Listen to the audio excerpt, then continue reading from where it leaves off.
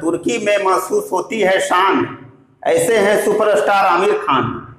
मैं अभिषेक आज फिर से एक नई वीडियो में आप सभी का स्वागत करता हूँ।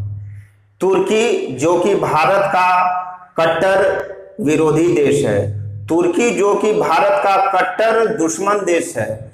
तुर्की, जो कि भारत के खिलाफ साजिश रचने वाले आतंकवादियों को संरक्षण देता है।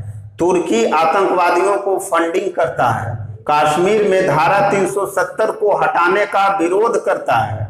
हमेशा भारत के खिलाफ बोलता है। भारत के खिलाफ साजिश रचने वाले देश का साथ देता है। हमेशा भारत के खिलाफ जहर उगलता है। हमारे देश के सुपरस्टार आमिर खान को वही तुर्की देश बहुत भाता है।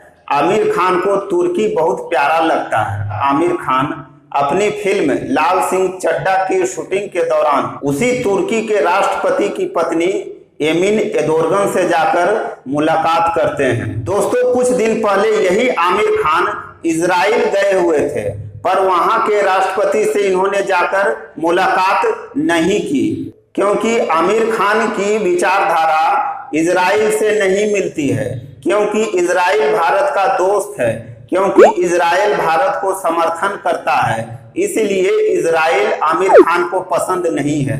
पर तुर्की, जो कि भारत का धूर विरोधी देश है, वह तुर्की आमिर खान को अच्छा लगता है और आमिर खान की विचारधारा तुर्की से मिलती है।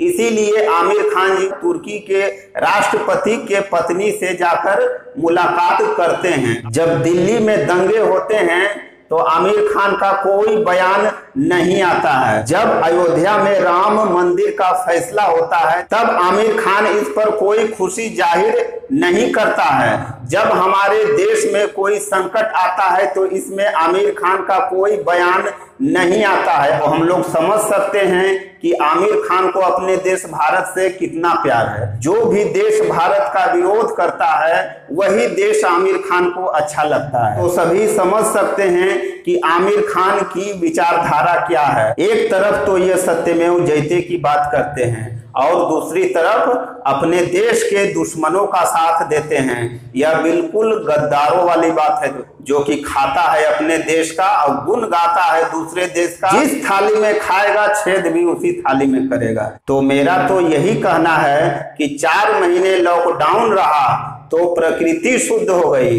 इसी तरह से अगर इनकी फ़िल्में देखना बंद कर दो तो संस्कृति भी शुद्ध हो जाएगी। तो आप लोगों की क्या राय है सुपरस्टार आमिर खान के बारे में? आप अपनी राय ज़रूर दें। जय हिंद, वंदे मातरम।